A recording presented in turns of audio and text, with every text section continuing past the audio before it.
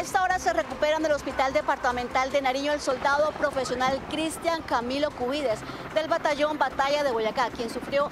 heridas en su pierna izquierda y en otras partes de su cuerpo ocasionadas por la activación de una mina antipersonal. El hecho se registró en la vereda Esmeraldas del municipio de Los Andes, Sotomayor, mientras se adelantaban confrontaciones con grupos armados que operan en la zona.